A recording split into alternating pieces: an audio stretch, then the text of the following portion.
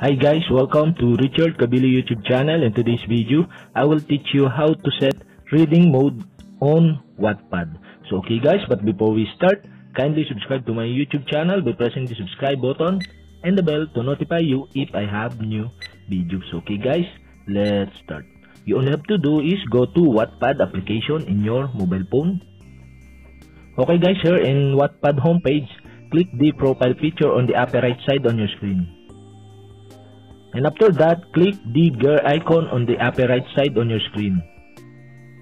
Okay guys, here in settings, find the reading preference. Okay, click reading preferences. Okay, after this, okay, find the reading mode. So, okay, to change the reading mode or to set the reading mode in your Wattpad account, okay, click reading mode. And the pop-up will show and you can see the two option reading mode via paging or reading mode via scrolling. So okay, if you change it, just tap the circle or paging mode. So okay, click again to change the scrolling mode. So okay, that's it. And okay guys, if you have a question, kindly comment below and don't forget to hit the subscribe button and the bell to notify you if I have new videos. Okay guys, thank you for watching.